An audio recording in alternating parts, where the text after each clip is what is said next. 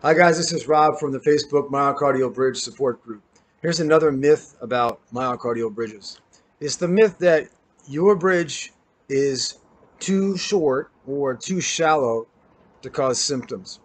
And this is both a myth in itself, but it's also a misleading statement uh, because bridges, myocardial bridges, are often underestimated. They often have no idea how long it really is. We'll get to that in a second. But for the myth part, that your myocardial bridge is too short and or too shallow to cause symptoms, um, it is at the end of the day, I'll just say it in a nutshell, it really doesn't matter how long your myocardial bridge or how shallow it is. It, it doesn't, I mean, it, it's probably, there's typically a correlation with a longer myocardial bridge causing more symptoms, but not always. I'll give you an example. We have a site on, on our site. Um, there was a guy from, I think, Belgium who was a cyclist. He had this very long myocardial bridge. It was five or six centimeters or something like that. He went in and the doctors found it. He wasn't even complaining about anything. He didn't have any symptoms. he, he didn't even recognize it. They just told him, and they said, We're not going to sign your permission slip for the next cycling race until you get surgery for this. So he had to have surgery for his myocardial bridge, unroofing surgery okay? But no symptoms, six centimeter bridge. By contrast, there are people with massive symptoms from bridges that are two centimeters or on our site less than two centimeters, which have had surgery at Stanford. There's a guy in a study from China who had a one centimeter myocardial bridge, reported crushing chest pain, had to have surgery. He collapsed. Okay, so on the one hand, we have people with one or nearly two centimeter myocardial bridges having massive symptoms. Somebody else had five, six centimeter myocardial bridge, didn't even know they had it, just went for a routine checkup and it showed up. So length is not the barometer. Um, what about depth? Same thing. Uh, typically, yes, there is generally a correlation between a deeper bridge and more symptoms. But in the words of Dr. Boyd, which is the uh, he's the surgeon for myocardial bridges at Stanford. He's probably done, uh, it's safe to say, more standalone unroofing surgeries than any other human being in the history of Earth. uh, he's done over, I think, 200 now. He said uh, to me, uh, even a very thin myocardial bridge can wreak havoc. Okay, even a paper thin band of muscle. Okay, because at the end of the day, um, a good analogy would be this. Think of it like a garden hose, okay? And, and that's your artery, and then the myocardial bridge is like a foot stepping on the garden hose, right? So when the water is supposed to be flowing through, you step on the hose and it gets squashed, so the water doesn't get through as much, right? You lose blood flow that's going to go off into your septal arteries, into your heart. But now think about this second. Okay, so if you're they're saying your bridge is too short or too uh, shallow to cause symptoms. Okay, well, what would that mean? Well, imagine if can a can a foot be too short? Can a foot be too narrow to squash an to squash a garden hose? In other words, why would the width of the foot matter as to whether or not it can or can't squash a garden hose? Why would the width of that foot even be an issue? Would a wider foot uh, crush the garden hose more, assuming it was the same pressure? Yes but that's assuming it was the same pressure. Okay, so I mean, you could have a foot that's, uh, you know, you could have someone's foot to be this big, be like a centimeter wide or as wide as a, a pencil, and you could still theoretically imagine it squashing down on that garden hose really, really hard. Okay, so it's just a function of how hard is that band of muscle squashing the artery. That's what's cutting off the blood flow. And at the same at the same time, you could also imagine a foot, someone's foot stepping on a garden hose. If that foot was very wide, would it matter?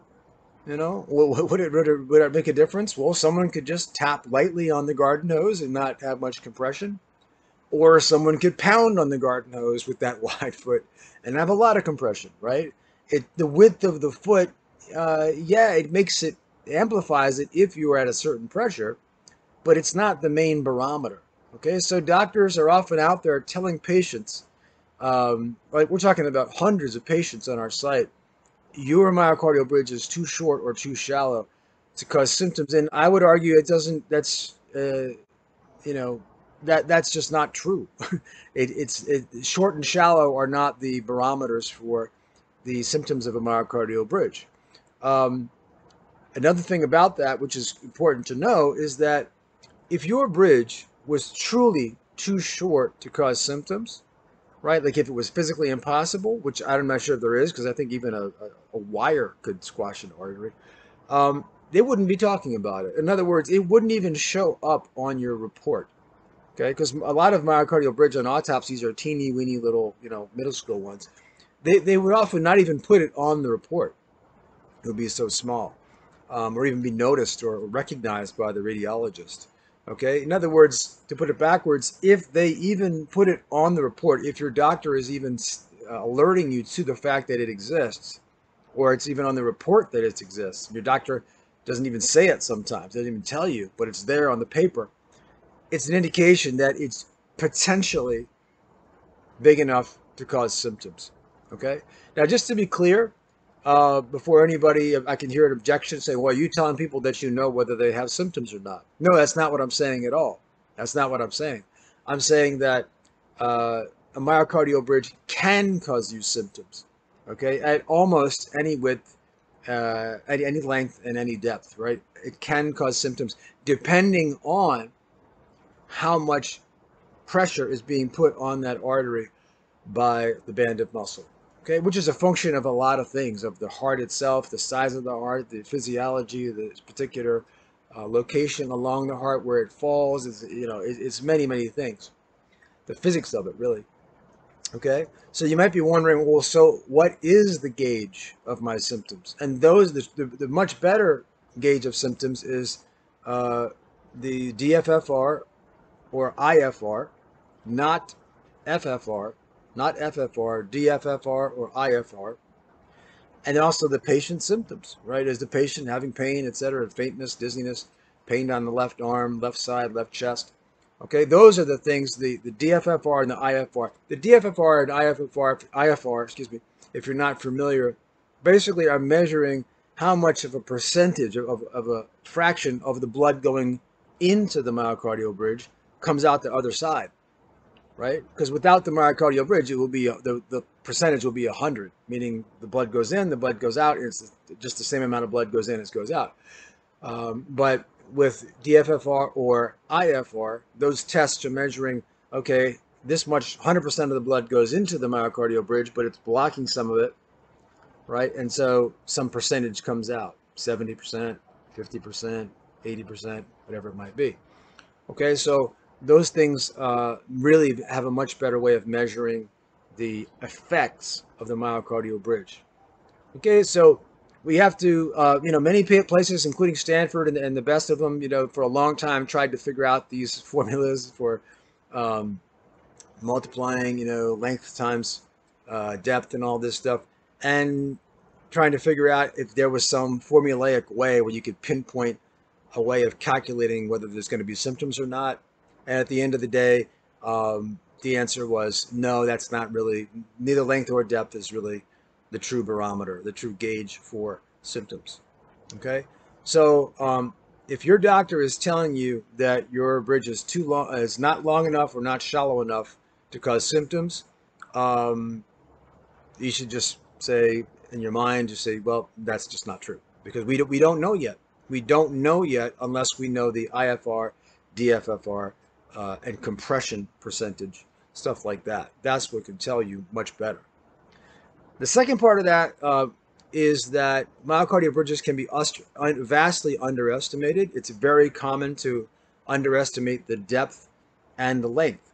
So not only is it a myth that depth and length are the, the barometers, the, the uh, criteria for whether a bridge causes symptoms or not, that's a myth.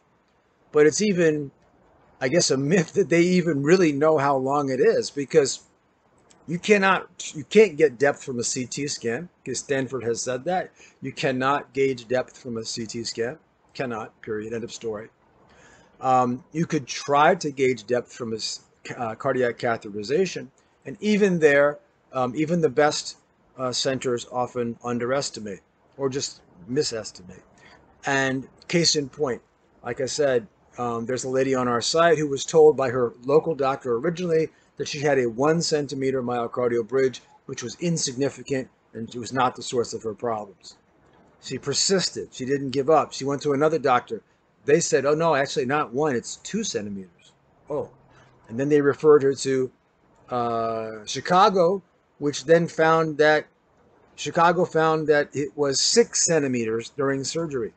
Okay, so magically it went from one to two to six centimeters. That's pretty big jump, right? So you can see that um, you have to take it with uh, more than a grain of salt when a, when a, when a doctor tells you um, that your myocardial bridge is not causing issues because it's too short or too deep. Okay, that's just another myth. Um, and there's others on our website in the frequently asked questions document. I hope to see you there.